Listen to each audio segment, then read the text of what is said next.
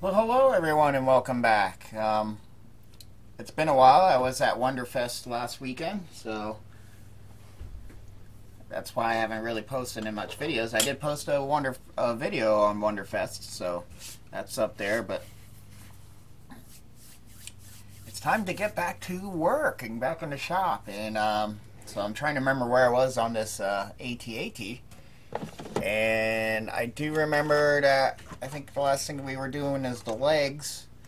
And then we got this piece here made to, uh, you know, we cut the tabs off that clicked it on there before.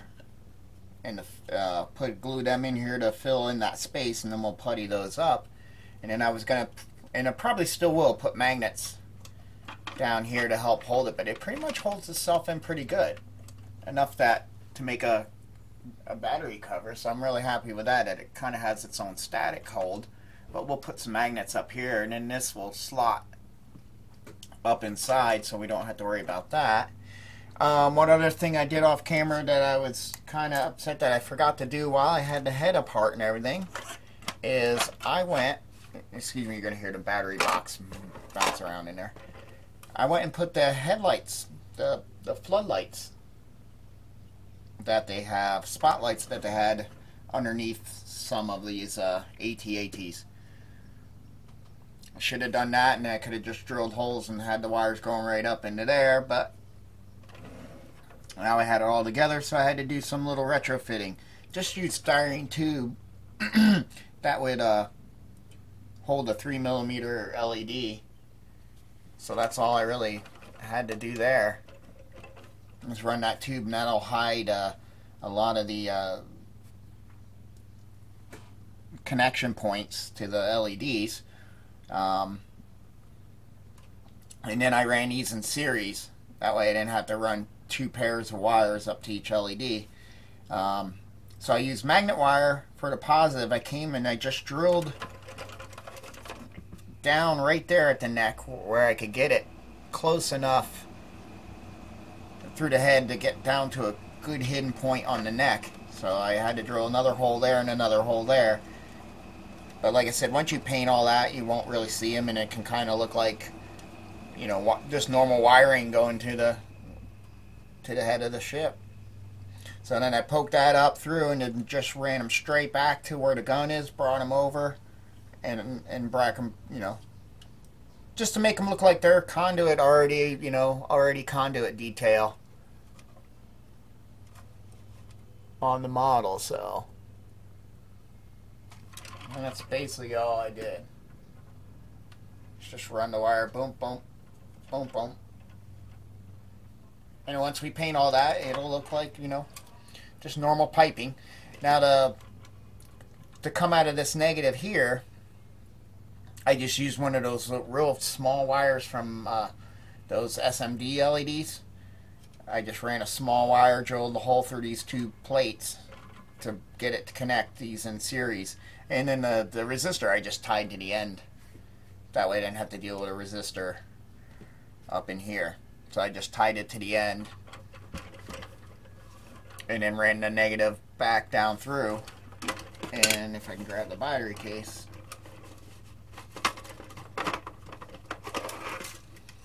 I just brought them and joined them here with the other wires going to the red light in the head. And there's the resistor for the... So I just tied those two reds together and tied those two negatives together to the battery pack. And it works. My battery's low because I was running it last night.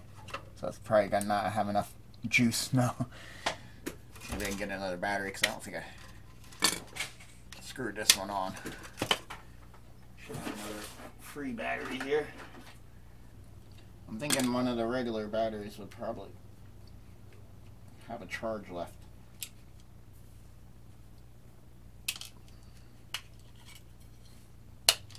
Maybe.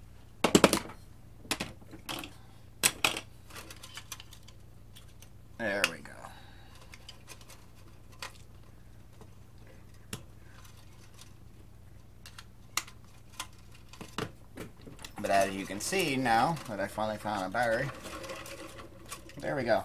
We got the spotlights. So those will come out good on her. But I really wanted to do those. I was like, there's not much lighting going on with this ship except for, you know, this vehicle except for the red window. And I think since I'm going to do the jungle scene, and it's murky, he would have his floodlights on to kind of see. Um, but yeah, that's where we're on that. So that came out good. I'm happy with that. Got the wiring glued down. We'll spray that. It'll look just like conduit and normal mechanics underneath the ship, but most of the time it's underneath where you won't see it anyway. Because she'll be like this. So, you know, unless you tilt the head. So, that's kind of how they did it in the real world situation. It's going to be hidden, just get it under there to shoot it. So what we're doing here is I'm adding some stuff detail that the Bandai has. Because this guy here, which she went, she got a merit. As you notice, they have that plating, but it's just, this is actually molded in. But I'm okay with that. I wish it was separate pieces so it sat a little more 3D. But that'll work. But as you notice, the Bandai has this one that bends around up top, and then it has these two little ones down here, and I want to add all those on there to give it more of the detail. So I've been kind of following what that is. And I kind of got the basic shape of it, and then I'm going to have to fold it right here. I think, you know, instead of making it two pieces, and but if not, I'll make it two pieces. But it'll kind of do that, and then it's going to bend down like that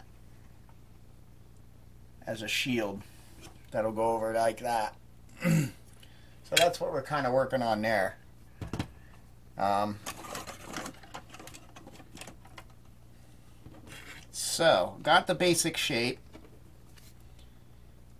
May have a little bit of refining there because it's such a small shape, so it's hard to sometimes get them exactly duplicate because there's no real way to cut it. That's the problem. Like I can't get in there with scissors. I can't get in there with... It's hard to make curves with a knife that are, you know, nice. There we go. But here's my line that I'm going to split it. So I'm going to see if I can take this Tamiya panel liner. It takes a gouge out. It takes a notch out. So I think if I, I already scored it with the uh, mark it with that. Maybe I'll score it a little more with a knife to give this something more to, to trench into.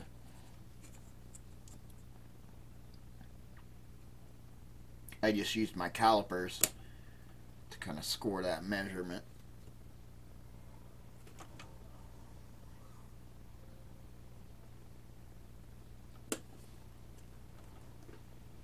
It's hard to see silver on white. I think my knife will make a better score. There we go. That this can follow. And I could use this ruler to hold the... This will take a little bit of plastic out and make almost like a notch.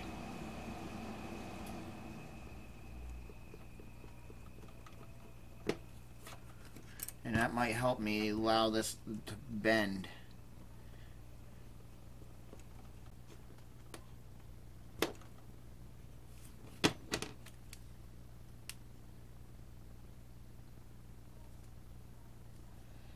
Might even use like some of that solvent glue. But yeah, it's starting to bend now. But we don't want it to break. We just want it to bend.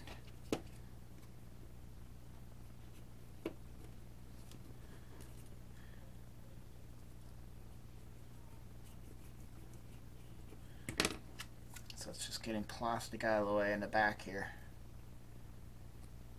I think that'll do it in a sense.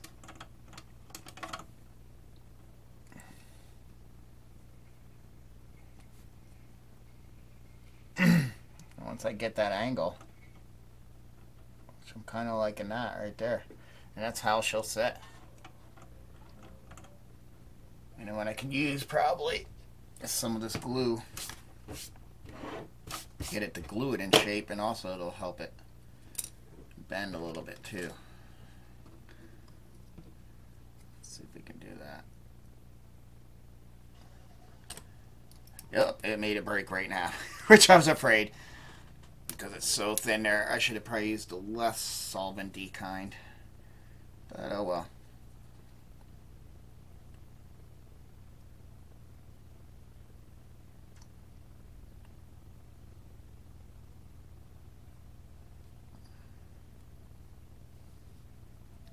So I'll have to do it the old-fashioned way in two pieces, which I didn't really want to, but that's okay. Now let's see how our angle is.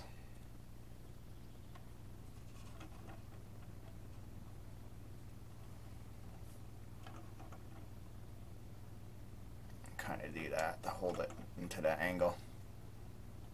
I kind of wish this was a little bigger. I would have cut that a little bigger, but that's okay. We're kind of trying to stay in this line here, and I think it must have flared out a little more, but this will give us the good the idea of what we're trying to reach for.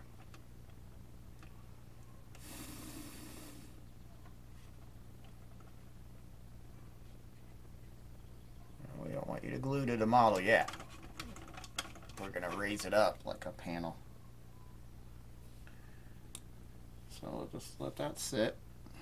Probably should put big glob of regular Revell glue back there to give it a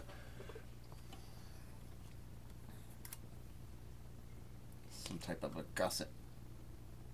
A little more substance there instead of that thin glue that really disappears. And I think the other thing we're going to do is do uh, styrene things around these guards here on the big one. It's really just got to box it around and then two in the center, and that, that'll give it the detail. It's really all they did there. And I think I got thin styrene that I can do that with. But that's where I'm at. I'm going to keep trucking away on this because that camera is going to lose power soon. And uh, But I just wanted to show you a little update.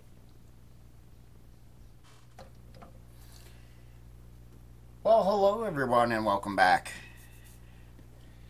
we're getting pretty far on uh, adding some parts to the uh, AT-AT. Um, move these legs out of the way. Um, the body, I took the legs off because it was easier to sand some parts. Um, got the detail on the back here. Added those panels, those, I guess they're little armor panels to protect the back area. I wish these were a little further out, or they made them separate pieces like Bandai did that you could actually, you know, plug in, because these are actually supposed to be out further. But that works. It gives you the idea of what it's supposed to be instead of just those two. I added those. And those look so much nicer. Um, puttied up and then did a little bit of the gray surface primer from Tamiya on the seams. I actually had to build a panel line part here just with a little piece of styrene because they completely didn't put one there where the top and the side notch together. This one looks okay because they did add the little part, the panel line to that. So I just, just a putty, I can connect it together. But yeah, just a piece of styrene worked great. I just got to sand all that stuff down. I might have to apply a little bit. I still see some seam work. I might see a little bit. So we'll see what we'll give it a sand and then we'll see if it needs another coat of surface primer. Um, all the detail in the head is uh, pretty much done. I don't think there's much more I want to do to that. I got the grid that's on that guard there on the guns. Made a little greebly out of styrene myself there add some detail there because there was some type of thing here. Added these panels because the it's the head's supposed to get a little bit wider, and it, it does look like they actually did this. Looking off the Bandai and looking off of uh, Lorne Peterson's uh, reference book, yeah, this was a whole separate. So that's really authentic to what the way it was built. And then that also allowed me on this side to have the detail of that open one there. It's not completely open, but it, you know, it's a cove. There's a little greebly from uh, I think the NX1. I think that's the uh, the hatch by the captain's uh, lounge on the bridge. That was supposed to poke through a hole, but then I had to 3D print it or the photo etch part, so I never had to use that. So that worked good for a little greebly there. Put a little square there. Um, what else do we do? We got the fog lights down here on, or floodlights, or whatever you want to call them. I was able to get them in, sneak the wires down in through. And on the legs, I just been going through and uh, I went and hit it with a file because they were kind of steppy where the two halves were. And uh, so I filed them, then sanded them, and then I hit them with a surface primer. Because the gaps weren't, there's a couple that are pretty big, but there is supposed to be lines, details going down this leg. Anyway, so. And then I added this piece here on the joint. All I did is take a little piece of round styrene and just cut it and that kind of simulates. I think that's where they actually put a uh, a uh, hex head Allen bolt, Allen bolt to bolt the legs together. And there actually, I believe, should be another one right here. There should be one here and here. And on this side, which is the outside, you'd see a little nub from the screw coming through. And this side should have another cap like that. But these kind of simulate the cap. I could kind of round them off a little bit, but at least the details there. Still uh, in the uh, air if I want to make these look like, you know, some like this and then some with it down further on these pistons because they're supposed to look like they go up and down. Um, Bandai already had like different ones you could choose for where it was all up, all down, and then, you know, one up and one down to kind of simulate when these joints move, that the piston is actually pulling. So I, I think all I would have to do is get a styrene and just lay it flat here, how far I went down, and I probably fill the and glue it, and then probably fill the sides with just some putty or something. I think that would give me the effect, and I wouldn't have to do it all of them. I have to see how I want the legs posed.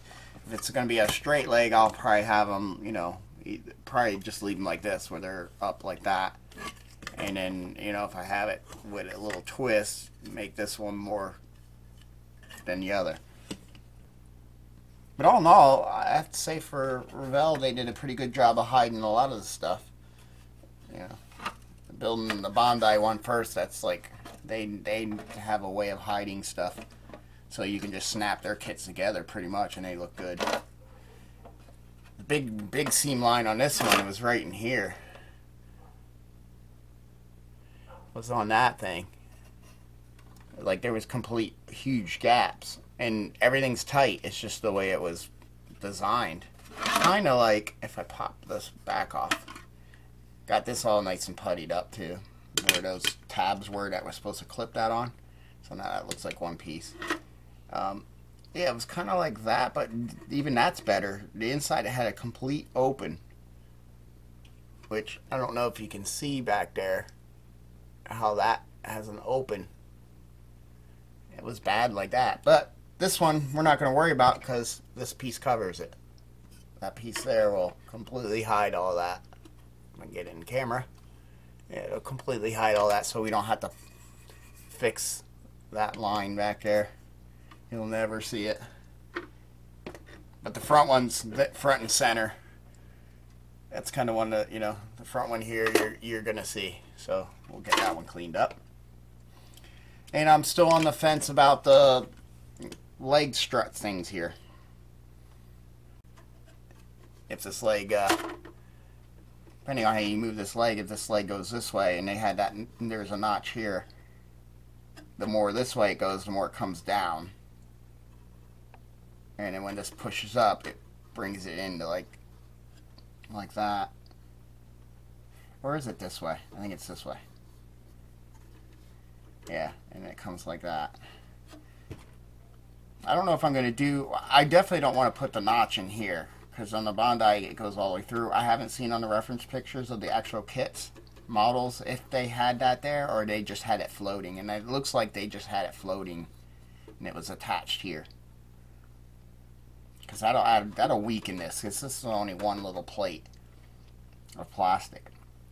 So I think what I'm going to do is I'm just going to put it in here and that way I can move it it doesn't matter. But at least the details there. And it's a real easy piece. It's kind of almost it's about yay big and it kind of just comes out and slightly arcs. And then uh, looks like the last piece steps out a little bit. And uh, so I could build it up with styrene and then add that last piece just make it the same shape but it's a little smaller. It's not as wide and it gives it that step panel step kind of look and that's all really it is so and probably what I'll do is I'll just drill a hole and use a round piece of styrene to peg it in and then just make the shape. I don't think that'll be too, it definitely won't be terribly hard, so I think we should do that to bring this up one more step to more authenticity. That's kind of iconic little piece. I always see, that's something that catches my eye, at least when I look at the leg area. Okay. But that's basically where we're at. Um, I'm going to keep on sanding and everything else is pretty much sanded except for the surface primer on all these parts. All that's cleaned up. Yeah, it's, it's getting there. The kit relatively went together pretty well. Oh, and back here to hide this seam where the two halves of the head went. That seam right there. I think to hide that, I'm going to uh, do a panel because I noticed on the Bandai there's a little raised panel with a recess, kind of almost like a door, looks like, um, right here. And I can use that to hide that panel, that seam line there. It's quite a step too. So I can just glue that over it and that'll completely hide that, and any little bit you do see can look like a, a panel line. But at least it'll hide ma majority of that. I can even make it a little bigger so it hides some of this opening. They had to make this opening a little bigger just to get head movement. But, I mean, there's some minor details. Like I said, the biggest thing on the head was, you know, adding this because it started making... The head has that shape of getting wider, but this panel line seam, this whole, you know, this was getting smaller and it shouldn't. Like these little raised notches. This thing, this detail here was higher than this back, and it's not. This is supposed to be higher than that. And then it has this lip, kind of like they have on these heavy panels here, armor panels. It was supposed to have that kind of thing on the top, too. So that was relatively really quick and easy. I just took tape and traced that mark and then traced where the panel lines are and then put that on styrene and then traced it all out. It worked good and adding that detail to the armor plating around the guns was a must. That's something you see right away too.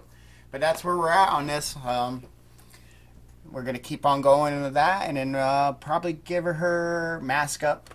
We're gonna mask up uh, the lights in the window, and then we can start. I got a little gap there to fill up in the corner. Oh no, the primer filled it up. Okay. And then we'll hit it with a black primer and kind of appreciate it with some black primer.